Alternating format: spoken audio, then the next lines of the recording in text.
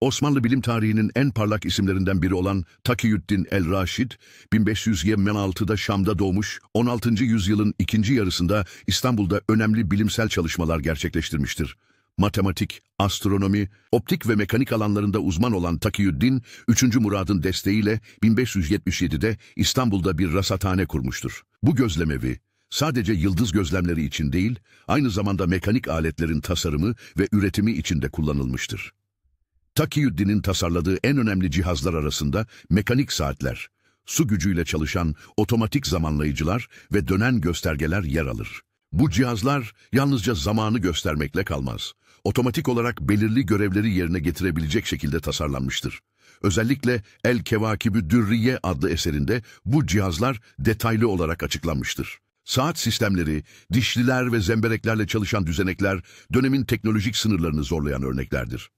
Modern robot tanımı elektronik sistemleri içerse de tarihsel bağlamda proto-robot ya da mekanik otomat denilen bu cihazlar otomatik hareket kabiliyetiyle robot teknolojisinin öncüleri sayılır. Takiyüddin'in icatları da bu kategoriye girer. Katı, Murat döneminde Osmanlı Sarayı'nda bilime büyük önem verilmiş ancak kısa sürede dini çevrelerin baskısıyla İstanbul Rasathanesi 1580'de yıkılmıştır.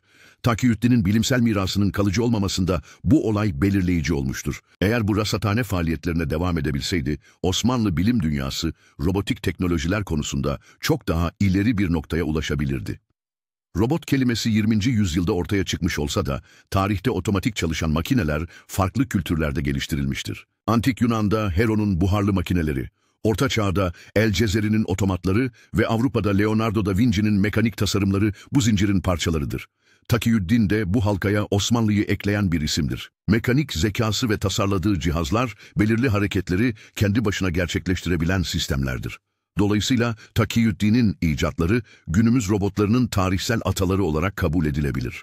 Takiyüddin'in robot yaptığına dair elimizde doğrudan bir cihaz örneği bulunmasa da eserlerinde tarif edilen düzenekler açıkça mekanik otomasyon prensiplerine dayanmaktadır. Bu cihazlar belirli komutlara göre hareket eden, zamanı ölçen ve göstergeleri değiştiren sistemlerdir. Bu da onun robotik tarihindeki yerini hak ettiğini göstermektedir.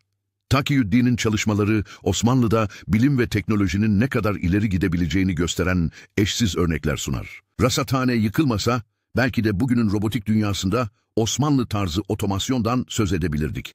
Onun mekanik düzenekleri sadece geçmişin bir parçası değil, aynı zamanda geleceğin bilim tarihine ışık tutacak birer prototiptir.